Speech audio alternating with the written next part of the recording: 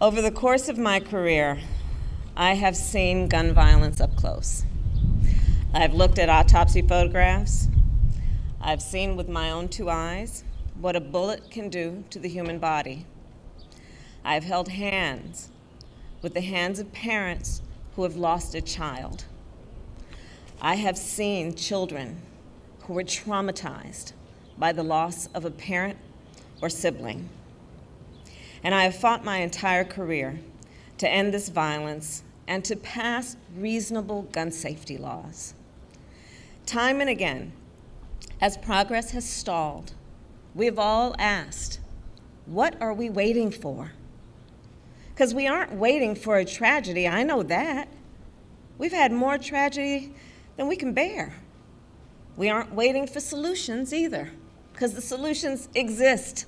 They already exist. People on both sides of the aisle want action. Real people on both sides of the aisle want action. So all that is left is the will and the courage to act.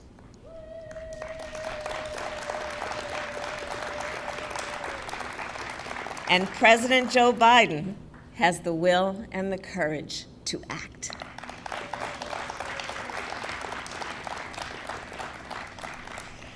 As a United States Senator, Joe Biden took on the gun lobby not once but twice, and he won. In 1993, he worked to pass the Brady Handgun Violence Prevention Act. This law established a background check system and has kept more than 3 million firearms out of the hands of dangerous people. A year later, he worked to pass another law to ban assault weapons and high capacity magazines for 10 years. And as vice president, Joe Biden led the Obama Biden administration's efforts to reduce gun violence. In fact, we were just reminiscing that he and I talked back then about his work because I was Attorney General at the time of California. And his work resulted in nearly two dozen actions from narrowing the gun show loophole to expanding funding for mental health services. And as you will hear in a moment, President Joe Biden is a leader with great will, great determination, and even greater empathy. He has seen the grief of all of those who have lost a loved one to gun violence. It is for them, for all of us, that he will never, ever give up on this fight. You know, we're joined today by the Attorney General, Merrick Garland, who I've asked to uh, prioritize gun violence. It's also good to see the second gentleman who is here, and uh, it's good to see the First Lady, Dr. Jill Biden, who cares deeply about this issue as well. And I look out there and I see so many members of Congress who've led in this fight. So many of you who've never given up. So many of you are in, can, absolutely determined, as Murphy and others are, to get this done. We got a long way to go. It seems like we always have a long way to go. But also, uh, today we're taking steps to confront not just the gun crisis, but what is actually a public health crisis. Nothing nothing I'm about to recommend in any way impinges on the Second Amendment. They're phony arguments suggesting that these are Second Amendment rights at stake from what we're talking about. But no amendment, no amendment to the Constitution is absolute. You can't yell crowd, you can't yell fire in a crowded movie theater and call it freedom of speech. From the very beginning, you couldn't own any weapon you wanted to own. From the very beginning of the Second Amendment existed, certain people weren't allowed to have weapons. So the idea is just bizarre to suggest that some of the things we're recommending are contrary to the Constitution. Gun violence in this country is an epidemic. Let me say it again. Gun violence in this country is an epidemic, and it's an international embarrassment. You know, we saw it again last night as I was coming to the Oval Office. I got the word that uh, in South Carolina, a, uh, a physician uh, with his wife two grandchildren, and a person working at his house was gunned down, all five. So many people, so many of the people sitting here today know that well, unfortunately. You know, uh, they know what it's like when the seconds change your life forever. I've had the pleasure of getting to meet in awful circumstances many of you, many of you who've lost your children, your husbands, your wives. You know, uh, they know what it's like to bury a piece of their soul deep in the earth. We understand that. Mark and, uh, and Jackie, I want to tell you, uh, it's always good to see you, but not under these circumstances. I want to say before I introduce the rest of the folks, is you know, what a lot of people have not been through, what they've been through, don't understand. It takes a lot of courage to come to an event like this. They're absolutely, absolutely determined to make change. But Mark and Jackie, whose son Daniel was a first grader in Sandy Hook Elementary School, Daniel loves sports, loves outdoor sports, getting muddy. I see my friend Fred Guttenberg. His daughter Jaime was a freshman at Marjory Stoneman Douglas High School. She was an accomplished dancer. I see Brandon Wolf, who the shooting at the at the at the Impulse at the Pulse Club nightclub. He survived, but his two best friends died. Greg Jackson, who was just walking down the street when he was caught in crossfire of a gunfight. And of course, I see a close friend of Jill's and mine, Congresswoman Gabby Gifford, who is here, who was, uh, who was speaking with her constituents in front of a grocery store in her state when she was shot and a member of her staff was killed. You know, uh, they're here, and their pain is immense. And you know, what a lot of you, hopefully many of you, don't know is you've gone through a trauma. No matter how much you work to make sure others don't go through it, every time you show up at an event like this, it brings back when you got that phone call. It brings back the immediacy of what happened at that moment. So I genuinely mean it. Thank you. Thank you for having the courage, the courage to be here, the courage to continue this fight. Senator Blumenthal understands it. A lot of the folks out here understand it. But it takes real courage, so thank you. To turn pain into purpose and demand that we take the action that gives meaning to the word enough. Enough, enough, enough. Because what they want you to know, what they want you to do, is not just listen. Every day in this country, 316 people are shot every single day. 106 of them die every day.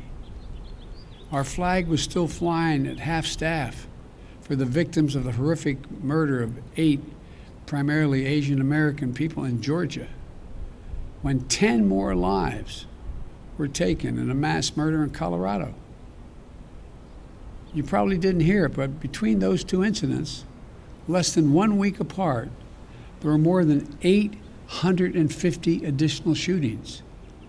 850 that took the lives of more than 250 people and left 500, 500 injured. This is an epidemic, for God's sake, and it has to stop. So I'm here to talk about two things. First, the steps we're going to take immediately and second, the action that needs to be taken going forward to curb the epidemic of gun violence. I asked the Attorney General and his team to identify for me immediate, concrete actions I could take now without having to go through the Congress. And today I'm announcing several initial steps my administration is taking to curb this epidemic of gun violence. Much more need be done, but the first first want to rein in the proliferation of so called ghost guns. These are guns that are homemade, built from a kit, that include directions on how to finish the firearm. You can go buy the kit. They have no serial numbers, so when they show up at a crime scene, they can't be traced. and the buyers aren't required to pass a background check to buy the kit, to make the gun. Consequently, anyone, anyone from a criminal to a terrorist can buy this kit in as little as 30 minutes put together a weapon. You know, I want to see these kits treated as firearms under the Gun Control Act, which is going to require that the seller and manufacturers make the key parts with serial numbers and run background checks on the buyers when they walk in to buy that package. The second action we're going to, the second action we're going to take, back in 2000, the year 2000, the Bureau of Alcohol, Tobacco, and Firearms released a report on its investigations of firearms trafficking in America. The report was of pivotal value. It was an important tool for policymakers when I was in the Senate and beyond, at all levels, to stop firearms from being illegally diverted into dangerous hands. Today, with online sales and ghost guns, times and trafficking methods have changed, and we have to adjust. We also have to ask the Justice Department to release a new annual report. This report will better help policymakers address firearms trafficking as it is today, not what it was yesterday. The third change we want to treat pistols modified with stabilizing braces with the seriousness they deserve. A stabilizing brace shook in a pencil essentially makes that pistol a hell of a lot more accurate and a mini rifle. As a result, it's more lethal, effectively turning it into a short barreled rifle. That's what the alleged shooter in Boulder appears to have done. I want to be clear that these modifications to firearms that make them more lethal should be subject to the National Firearms Act. The National Firearms Act requires that a potential owner pay $200 fee and submit their name and other identifying information to the Justice Department just as they would if they went out and purchased a silencer for a gun. Fourthly, during my campaign for president, I wanted to make it easier for states to adopt extreme risk protection order laws. They're also called red flag laws, which everybody in this lawn knows, but many people listening do not know. These laws allow a police or family member to petition a court in their jurisdiction and say, I want you to temporarily remove from the following people any firearm they may possess because they're a danger and a crisis. They're presenting a danger to themselves and to others. And the court makes a ruling. To put this in perspective, more than half of all suicides, for example, involve the use of a firearm. But when a gun's not available, an attempt at suicide, the death rate drops precipitously. States that have red flag laws have seen and seen the reduction in the number of suicides in their states. Every single month, by the way, an average of 53 women are shot and killed by an intimate partner. I wrote the Violence Against Women Act. It's been a constant struggle to keep it moving. We know red flag laws can have significant effect in protecting women from domestic violence. And we know red flag laws can stop mass shooters before they can act out their violent plans. I'm proud, excuse the point of personal privilege we used to say in the Senate, I'm proud that the red flag law in my home state of Delaware was named after my son, Attorney General Beau Biden, our son, excuse me, Joe, who proposed that legislation back in 2013.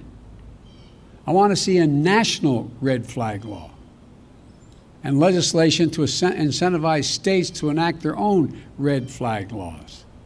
Today, I asked the Justice Department to publish a model red flag legislation so states can start crafting their own laws right now.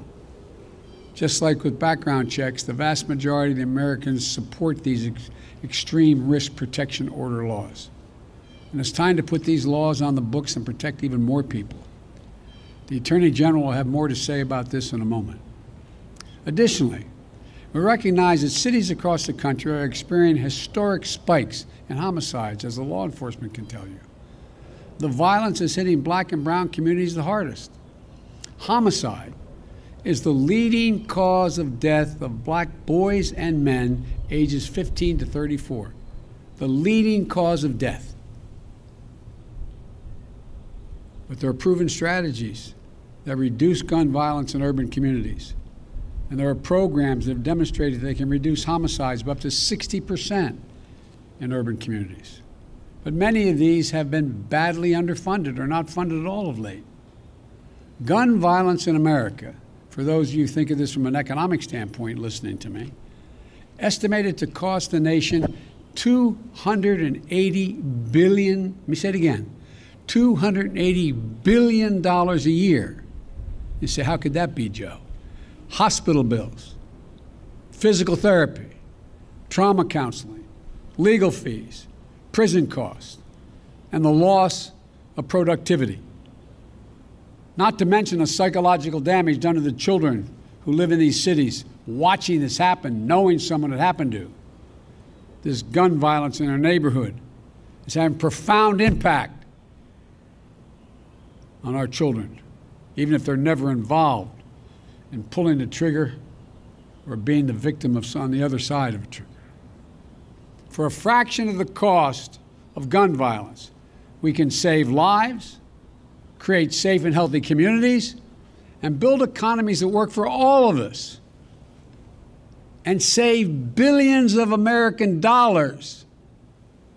In the meantime, much of it, as Senator Cicilline knows, is taxpayer money. Finally, the Bureau of Alcohol, Alcohol, Tobacco, and Firearms, the key agency enforcing gun laws, hasn't had a permanent director since 2015. Today, I'm proud to nominate David Chipman to serve as the director of the AFT. David knows the AFT well. He served there for 25 years. And Vice President Harris and I believe he's the right person at this moment for this important agency. And I've said before, my job, the job of any president, is to protect the American people. Whether Congress acts or not, I'm going to use all the resources at my disposal as president to keep the American people safe from gun violence. But there's much more that Congress can do to help that effort. And they can do it right now. They've offered plenty of thoughts and prayers, members of Congress, but they've passed not a single new federal law to reduce gun violence. Enough prayers. Time for some action. I believe the Senate should immediately pass three House passed bills to close loopholes that allow gun purchasers, purchasers to bypass the background checks. The vast majority of the American people, including gun owners, believe there should be background checks before you purchase a gun. As was noted earlier, hundreds of thousands of people have been denied guns because of the background checks. What more would have happened? These bills, one, require background checks for anyone purchasing a gun at a gun show or an online sale. Most people don't know it. You walk into a store and you buy a gun, you have a background check. But you go to a gun show, you can buy whatever you want and no background check. Second thing is to close the Charles, what's known as the Charleston loophole. Like people here, I spent time down at that church in Charleston. What happened is someone was allowed to get the gun used to kill those innocent people at the church service if the FBI hasn't com- didn't complete the background check within three days. There's a process. If it wasn't done in three days, according to the Charleston loophole, you get to buy the gun. They bought the gun and killed a hell of a lot of innocent people who invited him to pray with them. And three, reauthorize the Violence Against Women Act which the so-called close the boyfriend and stalking loopholes to keep guns out of the hands of people found by a court to be an abuser and continuing threat. I held over a thousand hours of hearings to pass the Violence Against Women Act. And one thing came through. If, in fact, a stay away order, an order preventing the abuser from coming in a certain distance of the person he has abused or she has abused. And now, the idea that they can own a weapon when they have a court order saying they are an abuser. These are some of the best tools we have right now to prevent gun violence and save lives. But all these bills, they had support of both Democrats and Republicans in the House. And universal background checks are supported by the vast majority of the American people. And I might add, the vast majority of responsible gun owners. So let me be clear this is not a partisan issue among the American people. This is a view by the American people as an American issue.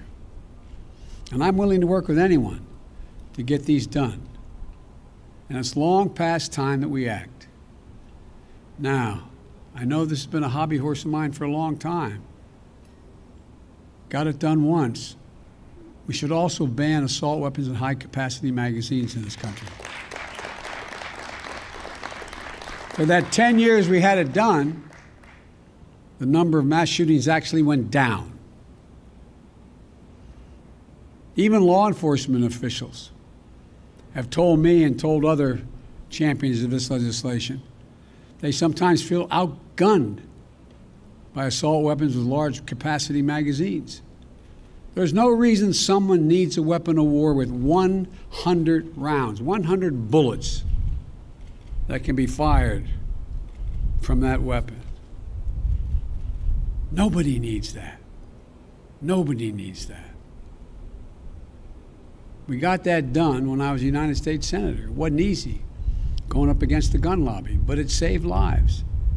And we should also eliminate gun manufacturers from the immunity they receive from the Congress.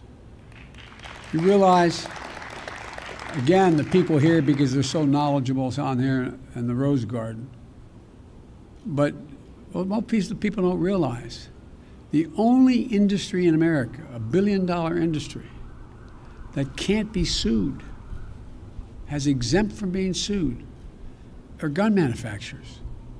Imagine how different it would be had that same exemption been available to tobacco companies who knew, who knew and lied about the danger they were causing, the cancer caused, and the like. Imagine where we'd be. But this is the only outfit that is exempt from being sued. If I get one thing on my list, the Lord came down and said, Joe, you get one of these, give me that one. Because I tell you what, there would be a come to the Lord moment these folks would have real quickly. But they're not. They're not. They're exempt. I know that the conversation about guns in this country can be a difficult one. But even here, there's much more common ground than we, anyone would believe. There's much more common ground. Everything that's being proposed today is totally consistent with the Second Amendment. And there's a wide consensus behind the need to take action. I know that when overwhelming majorities of Americans want to see something change that will affect their lives, and it still doesn't change, it can be demoralizing to our fellow citizens. It can feel like our entire political process is broken. I know it's painful and frustrating that we haven't made the progress that we'd hoped for. But it took five years to get Brady Bill passed, and it took even more years to work to pass the assault weapons ban and it saved lives. No matter how long it takes, we're going to get these passed. We're not going to give up. We have an opportunity to fulfill the first responsibility of government to keep our people safe. And in the process, we can show the world and show ourselves that democracy works, that we can come together and get big things done. When I look around and see such brave survivors sitting out here in the Rose Garden, public servants who devoted their lives to dealing with this, advocates who feel strongly and are pushing every day to make the rational changes, and courageous parents and family members. I know the progress, even in this most difficult of issues, is possible. So, folks, this is just the start. We've got a lot of work to do, but I know almost every one of you sitting in the garden here. None of you ever given up. We're not going to give up now. The idea that we have so many people dying every single day from gun violence in America is a blemish on our character as a nation. Let me say to all of you God bless you, but most importantly, the memory of all many of you have lost in the senseless gun violence